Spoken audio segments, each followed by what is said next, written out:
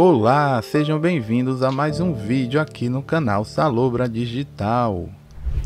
Estamos agora aqui nas ruínas da igreja de Santo Antônio, aqui em Alagoinhas, cidade que fica a aproximadamente 110 quilômetros de Salvador.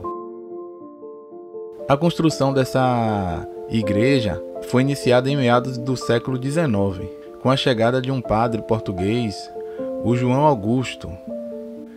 A igreja de Santo Antônio nunca foi finalizada, fica na entrada da cidade, bem aqui no bairro de Alagoinhas Velha, e é considerada o maior patrimônio histórico da cidade.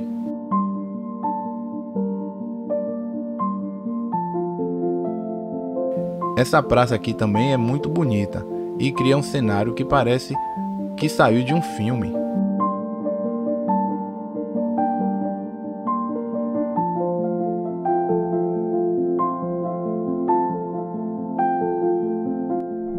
Vou dar um giro agora aqui ao redor da igreja para vocês terem noção de tão bonito quanto foi esse projeto.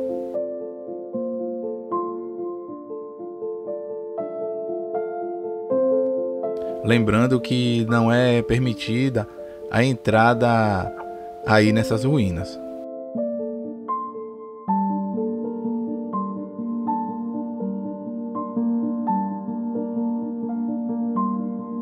Tá vendo ali aquelas estruturas? Parece que foi colocada devido à ação do tempo. É tipo um escoramento, né? Acredito que para reforçar a estrutura e não acontecer nenhum tipo de acidente. As paredes da igreja foram erguidas com argamassa de argila e sangue de boi. Um pouco estranho, né? Esse tipo de material, né, de construção, mas acredito que deveria ser o usual da época. Olha para isso, pessoal.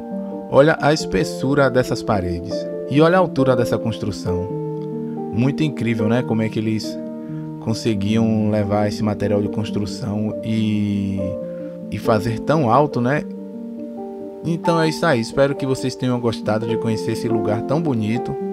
E se gostou do vídeo, deixe seu like, se inscreve no canal, ative o sininho para receber as notificações dos novos vídeos. Até a próxima e tchau, tchau.